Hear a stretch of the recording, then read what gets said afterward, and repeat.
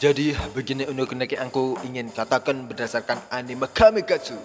Yukito lelaki paling kuat iman berkat pelatihan sekte gak jelas dari ayahnya. Haru-haru pikirannya ya baik karena terlalu suka buku porno. Roy adalah lelaki man of culture sejati berkat mesumnya pikiran yang dia punya. Si Ruriru terlalu ketagihan alkohol tapi aku gak expect akan remahnya dia akan unsur reality edgy.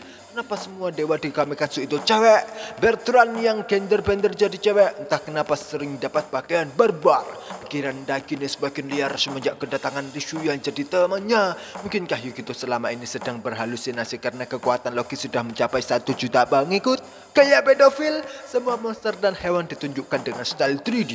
Kamikatsu termasuk anime pamer satu bangsa. Sensor ilahi sering nongol cuy. Atar termasuk cewek polos dan setia.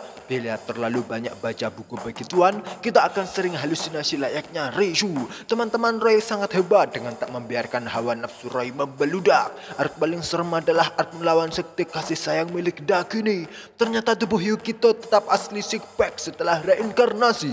Atar asetnya paling kecil di antara empat dewa buatan lainnya. Apakah kita butuh versi uncensored pada anime ini? Tak ada karakter favoritku pada anime ini. Mungkin orang-orang di dalam kota berjumlah total satu juta jiwa mengikuti jumlah banyaknya pengikut Loki. Akankah ada pertempuran perebutan pengikut antara kubu Mitama dan Loki di desa Kakuri? Terakhir, entah kenapa yang gua tungguin di anime ini itu edgy-nya. anime apa ini? Sekian dariku, sampai jumpa di video berikutnya. Bye-bye.